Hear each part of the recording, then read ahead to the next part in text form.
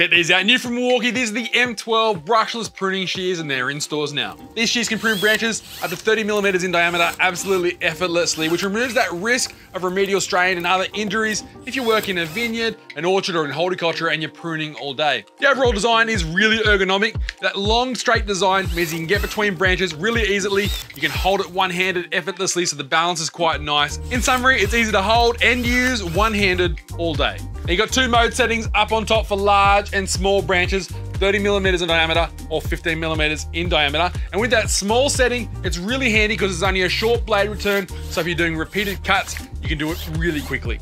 And as you can see here, the blade tracks with the trigger. It won't fully close unless you fully depress the trigger. She's pretty sharp up front. You got a high strength SK5 steel blade and you can get a replacement blade separately. We've also got an all leather holster for these pruning shears so you can hang the shears on your belt when you need both hands. Now, when I teased these shears on TikTok a few weeks ago, I got a couple of commenters saying, I'm being lazy, just get some regular pruning shears. Well, the thing is, not only is this super fast in comparison, I averaged 28 kilograms of force across a number of cuts where this was effortless. In fact, it was actually 36 kilograms of force before I sharpened my shears with the new power file. But even at 28 kilograms of force or less, if you're doing 100 plus cuts in a day, wouldn't you rather take the effortless, faster option than be so many pluses. It's not much heavier than your shears. You got that inline design for reach and control, and you can get up to 1,500 cuts off a 3 amp hour battery. So with a 5 amp hour battery like this one, look, you're pruning all day. So pick up the new M12 pruning shears at your local Sydney Tools store today, or go online to sydneytools.com.au for the full specs on these.